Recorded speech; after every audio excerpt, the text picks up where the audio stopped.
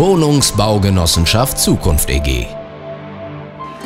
Hier, an dieser Stelle in Erfurt, werden Touristen gefragt, wo ist sie denn, die Krämerbrücke? Die einzige mit Wohnhäusern bebaute Brücke nördlich der Alpen. Erst wenn Sie durch diese Gasse gehen, verstehen Sie, was der Stadtführer gerade damit meinte. Genau hier soll übrigens der Ursprung des Namens Erfurt liegen. Die Erfe fließt an dieser Stelle durch die Landeshauptstadt Thüringens. Erfe bedeutet im Germanischen dunkelfarbig, bräunlich, schwarz.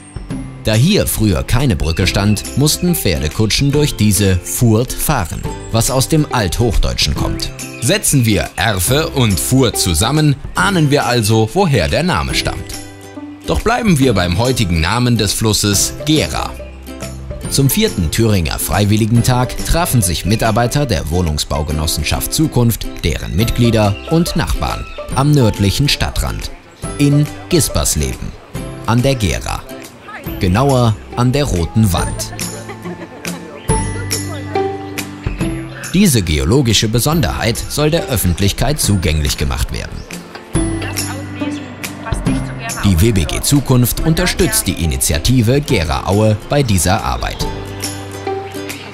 Mit Rat und Tat.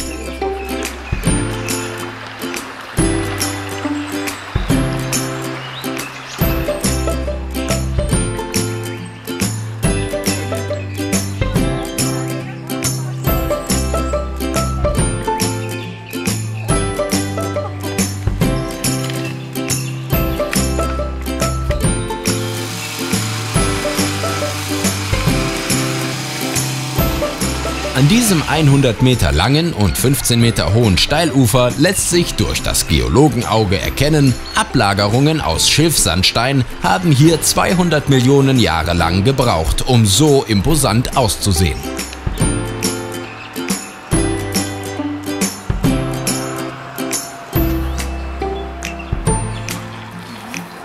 Neben der Erschließung für interessierte Naturliebhaber wird hier jedoch auch etwas für den Hochwasserschutz getan. Die Thüringer Landesanstalt für Umwelt und Geologie investiert in diesem Gebiet 500.000 Euro.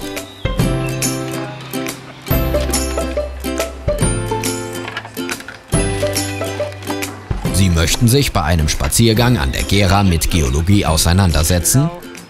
Hier sind Sie genau richtig.